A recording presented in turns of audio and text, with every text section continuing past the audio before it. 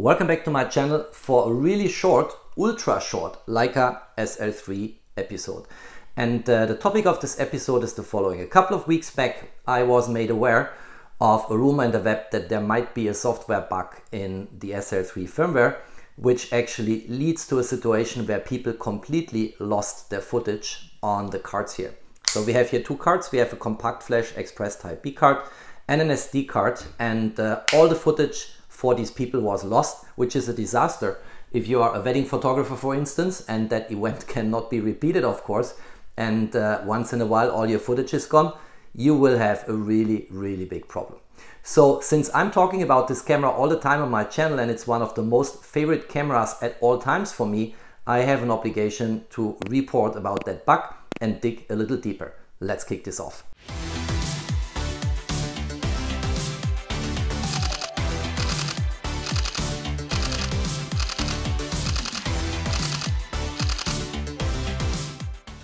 Alright, so what's this bug all about? Well, the bug is the following. Let's switch the camera on and let's remove the lens cap here. Get this off. By the way, I have here the, let me just talk about that for a moment. I have here the Super Apo Summicron SL 21mm widest open f2 lens mounted on my SL3.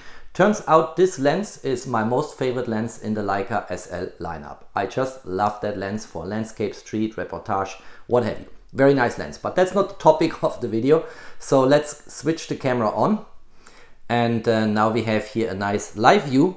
And uh, now if you remember what I told you in my various videos on the Leica SL3, I use very often the standby mode on the camera, which is a very convenient feature. I think Leica did this very well. And turns out when I was shooting with that camera recently with the Leica M lens in New York, I used actually the standby mode very often. It's very simple. You tap it, Camera goes into standby, you see the display going off and uh, you can wake it up by push on the shutter button easily and momentarily. Let's do this. And now the camera is back. And in this way, if you walk, for instance, another five blocks in New York City, in Manhattan, you can save battery capacity and use it just when you need it. Going into standby mode, easy like that, display goes off, power is saved, energy is saved, and no consumption, just a little minimum amount of energy is consumed, as Leica told us on the influencer event of that Leica SL3, but negligible, and then waking it up by a gentle push on the shutter button. Here it is again, and it's very fast, very quick, I think is an ingenious feature. But what some people did, and that's of course a mistake and not in line with Leica instructions, is the following. They went into standby mode and then they swap batteries. And that's something you should not do. If you think back to the good old times where you had laptops with replaceable batteries, if you put in Windows your laptop into standby mode, but then take the battery out, of course, the standby is not preserved in the status what was there on the computer before. The computer will be switched off because there is no power left. And uh, that's the same for these type of cameras. If you are in standby mode, you actually should not swap batteries because that might kill the preservation of the current status of the camera in the way what you have set up and all of that. Now what should not happen of course is that in the process of going into standby mode and then swapping batteries, the footage on the cards is lost. And that's actually what people reported. They said all of a sudden all the files I had, all the images I was shooting for instance at a wedding were overwritten and lost. Not possible to recover them again. And that is, as I said before, a disaster. So you should never do that. If you really want to swap batteries, you should follow the instructions by Leica, switch off the camera completely, which means longer pressing the button. Then you see the Leica logo. Now the camera is switched off. Now I can safely replace batteries. But in any case, no matter how you turn this and look at this from different angles, what should never happen is that footage that is written on a compact flash express type B card or an SD card is randomly overwritten and all your images and videos are lost. That's definitely a bug independent of user behavior and whether they follow instructions from Leica or not. Now my camera here seems not to have that bug. Let me try to reproduce it and see what happens. So let's go into the menu and let's format the cards. Let's go here until storage settings. Here's storage management. Let's go there. Format storage, compact flash express type B card. Let's format it. That will take a couple of seconds and then it will be completed and go back to the menu. Let's also format the SD card. Say yes. I have nothing important on these cards. I checked that before, of course. so don't worry. And now we have empty space in the camera. If I go on the play button, no valid picture to play. That's good. So let's take a picture now with that beautiful 21 millimeter super Apo Summicron. Let's check that the image ended up on the cards. Let's go into play. If you go into play, here's the image. You see it. I can pinch to zoom, what have you. Looks really good. Is a fantastic lens. Did I already mention? Anyway, so that's the picture. Let's go back into live view. And now let's try to reproduce that error. Let's go into standby mode.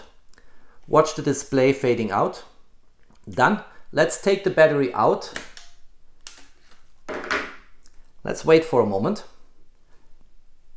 Let's see what happens if I wait here for a few seconds. Let me hold that camera and now let's get the battery back. Let me see. So we swap it in. Let's switch the camera on and let's see if the image is still there. I'm now here in live mode. You see this? Easy like that. Let's push the play button and then the image is still there. I can zoom in. You see this? The image is still there. So my camera does not have that bug and is currently on the old firmware. Let's check this quickly. Let's go here to where are we? Camera information. Let's go here to firmware and that's firmware 1.1.0, which is not the newest firmware. Now, Leica of course reacted to these rumors and the rumors turned out to be true. And they also published a remark and a comment on the download page for the Leica SL3 actually reporting about that bug and telling people that there are certain cameras which are affected by that bug and people should be careful and follow instructions and completely switch the camera off before they swap batteries. But they also said they will of course publish immediately a firmware update fixing that bug because as I said, footage on cards, written on cards, no matter what you do with the camera should never be affected even if you don't follow protocol. And uh, I got notification from the Leica store in Zurich from my friend Carlos yesterday who sent me a WhatsApp and said the new firmware is out. So what we are going to do now is we'll actually switch the camera off. We'll take out the compact flash express type B card and uh, I will now place the new firmware file on this card, then we'll do the update process. And then you also have seen some instructions, at least in this video, how to get this done in a safe way. Updating the Leica SL3 with newest firmware is actually very simple. I have on the right hand side here the root folder of my compact flash express type B card, which is typically sitting in my Leica SL3. And on the left hand side, I have a folder on my MacBook Pro, which contains the release notes and which also contains the new firmware file.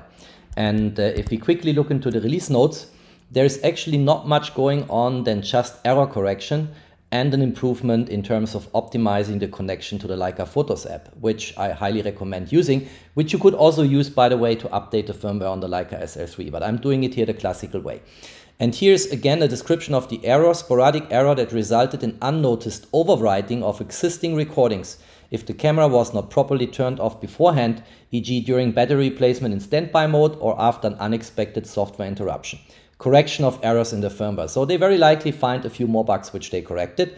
And that's what this is all about. So what I'm going to do now is I drag and drop the firmware file and drag it from my MacBook Pro onto the compact flash express type B card. Then I eject the drive and uh, will continue in the studio and update the camera. As I've just shown in the video, the new firmware file is now on this compact flash express type B card. So let's actually open the card slot door here Let's get the card in.